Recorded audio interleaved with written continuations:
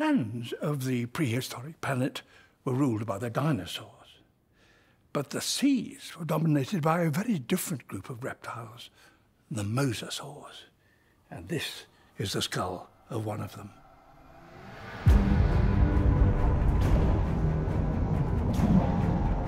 Mosasaurs were seagoing lizards. Think of a giant, swimming, whale-sized Komodo dragon. Tapered snout, rough skin, four fins instead of normal limbs, and a long tail that would look a lot like a shark tail, but upside down. That's basically a mosasaur. The largest was Mosasaurus hoffmanni. It was an ambush predator. But what was the secret of its success? They can move from just still, not moving at all, to incredible speeds right before your eyes. In the modern world, we see this ability in reptiles like crocodiles.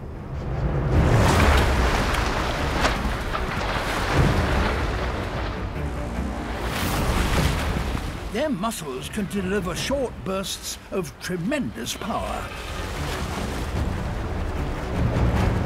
Mosasaurs, given that they're reptiles, given that they're lizards, probably had similar capabilities in their muscles.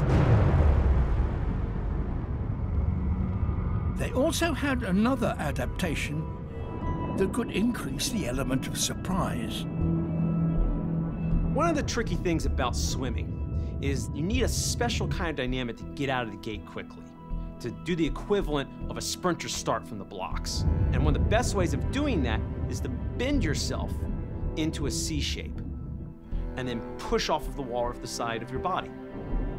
Fish today use this technique.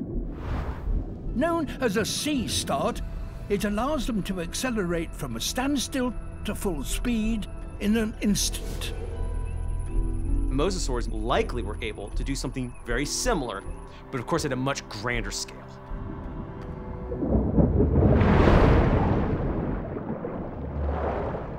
So, exactly how fast could a giant like Mosasaurus hoffmanni actually swim?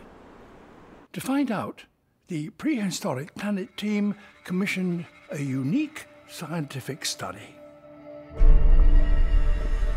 Until recently, no one had really attempted to estimate these kinds of performance values in detail.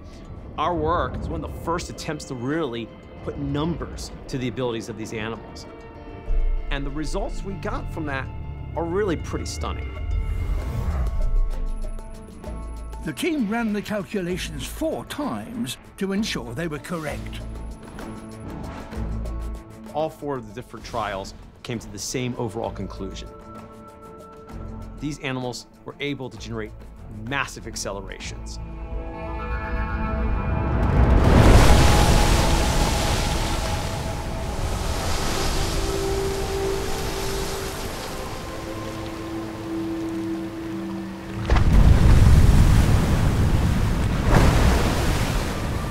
This mosasaur could probably clear 75% of its body length in one single second.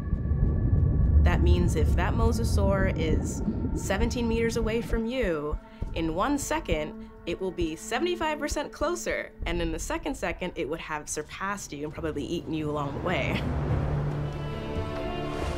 Being hit by a mosasaurus would be a bit like being hit by a full-size semi-truck. Just the impact of the animal alone, much less the bite that would follow, would kill a lot of its prey instantly.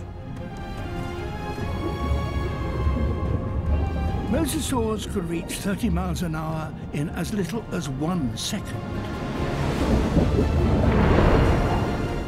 This is what makes them arguably the ultimate marine predator of all time.